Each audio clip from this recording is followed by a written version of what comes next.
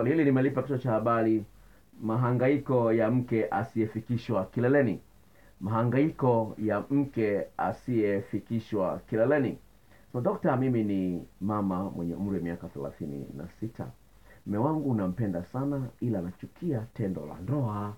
Nalichukia dokta, maana tunapofanya tendo la ndoa mwenyewe akifika tu ndio mwisho. Mimi ananiacha nahangaika na hamu ya kufikishwa kileleni. Nimejaribu sana kumwelezea mahangaiko yangu na huzuni zangu, lakini dokta habadiliki. Nifanyeje? Asante dada, kwa umri wa miaka thelathini na sita una haki ya kulilia utamu wa tendo la ndoa. Sasa ningependa kuambia dada yangu, kilio hicho ni kilio cha wanawake wengi sana.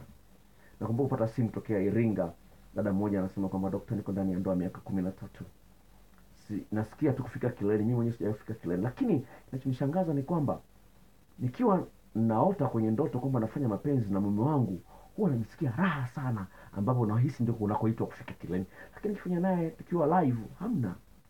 Inakuwaje?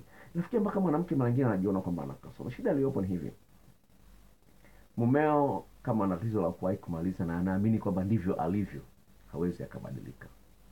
Tatizo hilo lina tiba. Kwa kama ndani ya dakika tano anakuwa ameshamwaga mbegu, tambua na hilo tatizo. Kama mwanaume anaishia kagoli kamoja, anawahi kumaliza, anaishia kagoli kamoja. Kuna watu wengine anawahi kumaliza, lakini kagoli kapili kanachelewa, kanachukua muda, na yenyewe ni tatizo hilo la nguvu za kiume. Tiba linayo, tuwasiliane, naweza kukusaidia. Lingine ambalo linaweza kuchangia mwanamke asifike kileleni ni kuwa na maandalizi yasiyo sahihi au kuto kuwepo kwa maandalizi kabisa. Mwanamke anahitaji maandalizi kabla ya kuingiliwa, anahitaji maandalizi yasiyopungua dakika kumi na nne, maandalizi sahihi. Sasa usipomwandaa mwanamke kwa muda mrefu, unashindwa kuwa umetibua hisia zake. Mwanamke unatakiwa umtoe kutoka kwenye pointi sifuri mpaka pointi ishirini.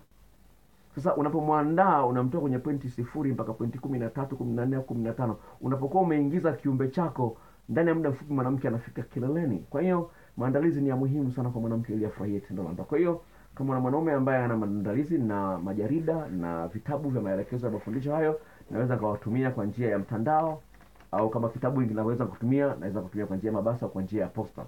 Tuwasiliane, naweza kusaidia katika eneo hilo. Okay, niingie kwenye swali lingine.